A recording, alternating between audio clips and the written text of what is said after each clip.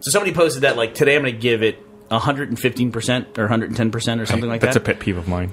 and they said that, and I was like, "Fuck you!" You know who I was thinking about? I was thinking about Monty.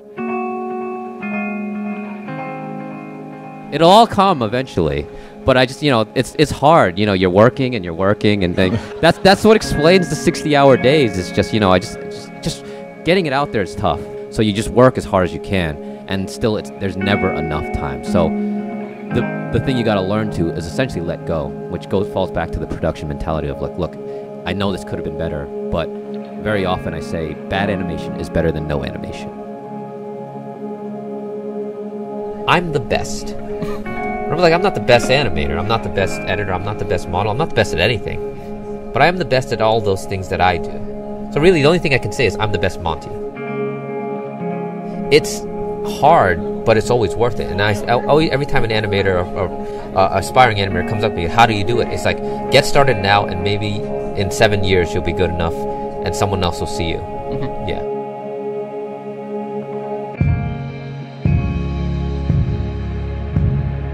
Monty works really hard. Monty's trying to give 100%. He understands 100% is the most that you can give it. And he literally tries to give it 100%. Like when he's working on something, he's like, how do I not sleep? Because sleep does not contribute to this thing. It detracts percentages. He is Yeah. trying to reach 100% of effort on what he does. It is amazing to watch. He gets down to the point of like, how do I reduce my amount of steps to go from here to here so that I can continue to work? Mm-hmm. That's someone who understands like what it takes to get stuff done. Time will pass and you know collectively we're all getting smarter and the technology makes it easier for me. If i had to start my path again today it would not happen the same way. So i can't really give that advice other than say you just need to do it. I never made these movies because i thought they would get me jobs. I had been working two jobs uh, you know and uh, you know doing living a pretty regular life of actually commuting to work going to the gym, having a girlfriend, doing all the normal things, but I would pound away at Haloid every night and day. Like I would do the planning for it in my commute to work by just listening to the soundtrack. I would uh, keep my laptop beside me, render while set things to render while I was at work. At that time, I was working for Kinko's and, and an online catalog, and I managed to pound out Haloid in two months because of just clarity and vision. And uh, when Midway approached me, I didn't know that would happen. I thought I would just make a cool video, people would see it, and the rest would happen on its own. I didn't know what the rest was. I just knew something would happen. Just make more. I didn't think anyone as as high as the company that made Mortal Kombat would come to me and say, "We need you to do all that cool stuff for us." And my response, literally, I remember the email with uh, the creative director at that time was like, I said, "Are you sure I'm good enough?"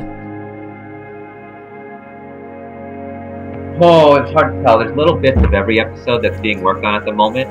Cumulatively, there's like, I mean, obviously we're about to release episode four. yeah. But I mean, my head's in about a million different places for episode five, as well as seven, eight.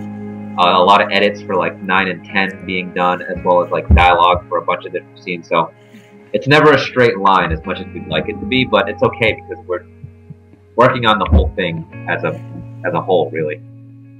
Favorite thing this time around was sharing it with everyone else, my colleagues, my friends, who all worked on this project.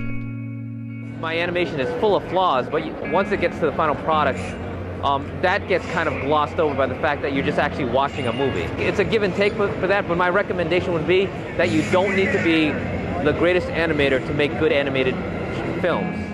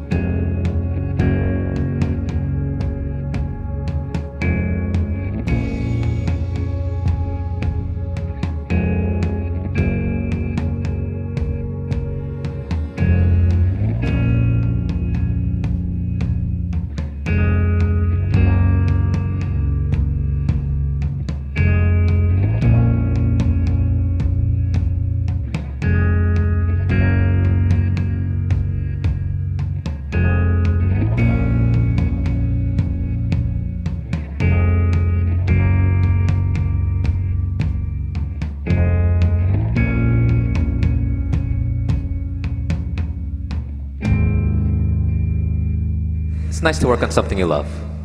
End of the day, you know.